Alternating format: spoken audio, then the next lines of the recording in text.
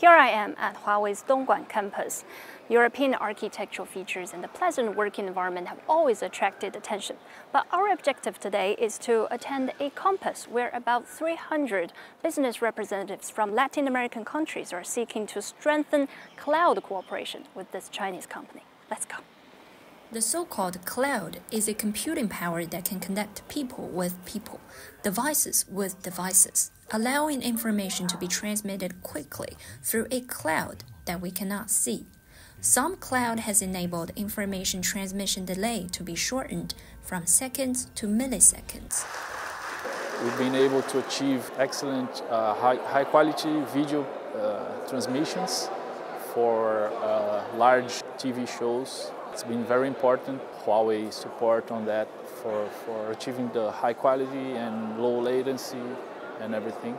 We have done some work with Amazon Web Services, with Google, with Microsoft, and with Huawei.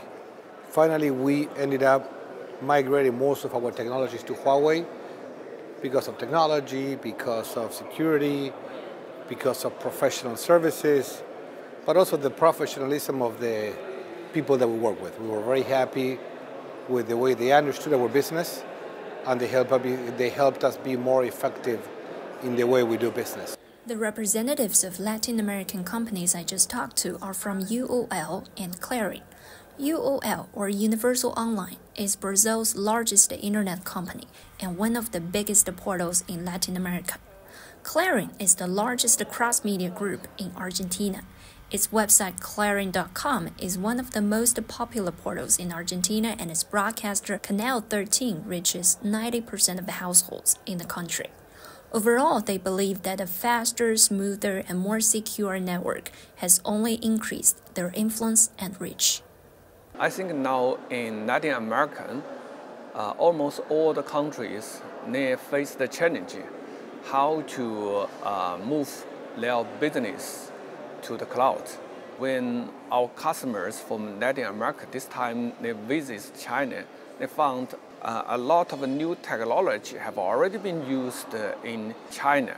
So they also hope that this kind of technology can be used in their own countries. First of all, we continue to invest in Latin America, not only to do the business. You can see that we invest a lot of cloud infrastructure uh, in Latin America, from the Mexico to Brazil. Secondly, we bring some advanced uh, cloud technology to Latin America. The third is uh, we also focus the talents training that we help the local local education market training their talents. It used to take more than 30 hours to travel to China from Latin American countries. Now with the launch of direct flights from Mexico to Shenzhen, this time has been shortened by nearly half. This undoubtedly provides more favorable conditions for technological cooperation between China and Latin American countries and deepens the friendship on the cloud. 刘嘉欣，CGTN Dongguan in Guangdong Province。